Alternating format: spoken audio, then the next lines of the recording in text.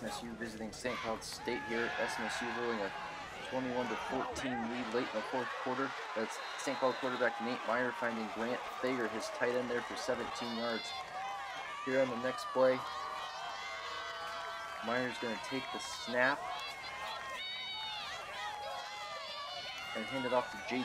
You know he's going to keep it. He's going to fake it and keep it himself. There picks up about five yards.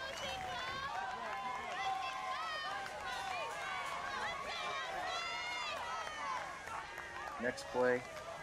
This time he's going to hand it off to Jaden Hunt. He picks up five for Jonathan Cross. Lays the lumber him there. SMSU defense trying to protect. Trying to keep St. Cloud State from climbing back in this game. Here's an incomplete pass from Meyer Thayer. Down Finley with the breakup on that play.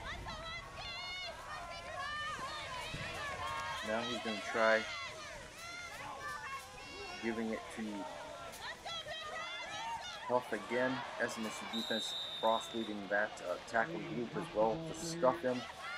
Next play though, Meyer gonna keep it himself and dive in the end zone. 21 to 20, but guess what? They would miss the extra point, so SMSU has a 21 to 20 lead now on the ensuing drive. Facing a third and five, we need to get a first to pick it up. They're gonna let the pass here, and Blake Gimbel finds Ty Stephenson over the middle. That should wrap it up, right? You'd think so. St. Cloud State has no more timeouts left. This is after a short run by Devontae Stevens. And Ashanti Payne just says, let's go home, boys. 25 yards down the sideline. Here's SMSU post game. Start, Jim. Wait for it. All right. Come on, boys. Yeah, boys. Yeah. Yeah. Yes. Yes. Yes.